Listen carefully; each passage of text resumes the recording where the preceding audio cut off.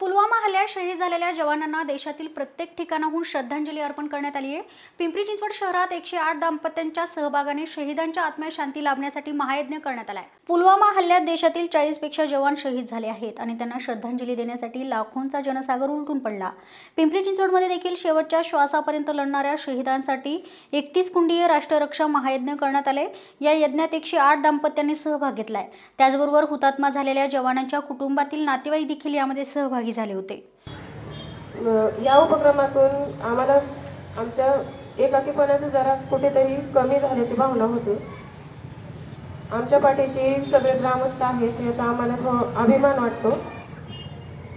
आणि आमच्या दुःखात तुम्ही सगळे सहभागी झाले याबद्दल तुमचं सगळ्यांचं मी मनापासून आभार मानते.